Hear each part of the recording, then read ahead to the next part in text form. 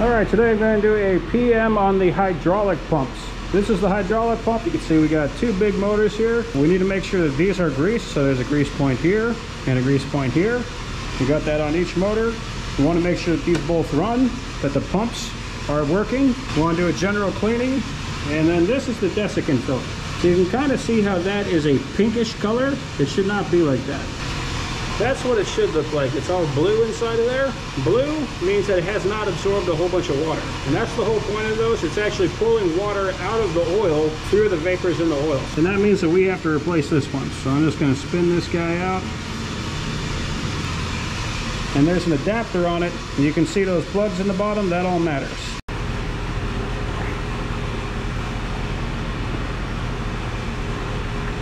So I need to keep this adapter and this is a brand new one. These are Mobil lube guards. This is a MOB 2 size or MOB-2. And you can see the sizes are written on it. So depending on what your application is, this is a 4 inch size, MOB 2. And you don't want to open these early because as soon as they're exposed to air, they're going to start sucking water out of the air.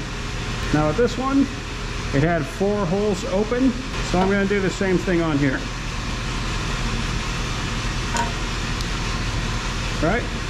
And so that's going to let air vent through all of the desiccant and out the outside. Take the cap off and we'll reattach the adapter. And there is a little O-ring on there, so we just want to get that kind of sealed. You don't have to have this tight, and we'll throw it back on. And again, the main point of this is just to pull the water out of the oil and that is an important thing because it will really help to improve the lifespan of the oil. So you're not have to change the oil quite as often. Plus water being in the oil that's coming in contact with the steel is going to make that corrode quicker. So just having the water pulled out of the oil is great for all the equipment. The next thing we want to do is we just want to do a general cleaning. Quite often there's going to be small leaks that are going to be appearing all over and it'll make little puddles. So we just want to wipe down the whole deck. And this one's really not that bad. I can see like a little shine on some of the parts, but for the most part, it's fairly dry.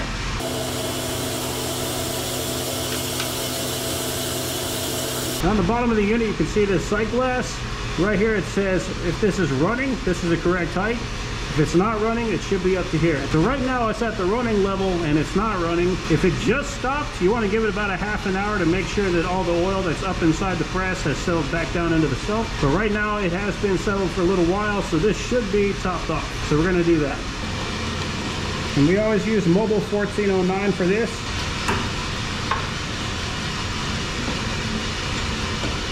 On some of these, if you fill it up too quick, it'll start pouring out the top, so you want to make sure you're not filling it up too quick. And then we just keep an eye on the sight glass and keep filling as needed. All right, so right now the oil is just touching that high level. I'm going to stop right there. So looking at this, we got M1 and M2, that means motor 1 and motor 2. We got lights for motor 1 run, motor 2 run. Right now it's in auto, so it's switched to the right. That means that they can control it from upstairs. If I don't want to control it from upstairs, turn it to off. And if I move it to hand, then that will start up this pump. And on the back of the pump, we got this indicator right here. And at the top it says clean, then we got change element, and then bypass. So this is a filter housing. There's a big canister filter right inside of here. And in the event that this was in the yellow when we started up, then we have to change out this filter. So I'm to put this in hand.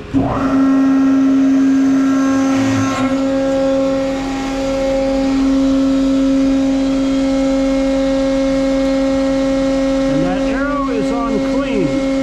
So that means this filter is good. We don't have to worry about it. I'm going to turn it off. I'm going to try motor 2. Turn it on. And that one is good too. And the indicator for that one is on this side. So this one is for towers 12 to 15. And then over here, we have towers 16 to 19. So this is for the left side of the press. This is for the right side of the press. And essentially, we're just going to do the same thing. Make sure that we're topped off. Make sure the top is all clean. Run both motors. Check the filter elements.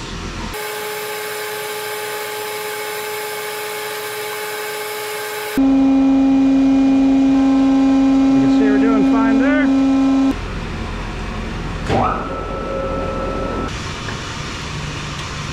You might be be able to kind of see as I'm pumping this up that fluid wants to come and build up. So with this one, you got to be a little careful, making sure that you're not filling it up too quick. Just so you're not making a mess.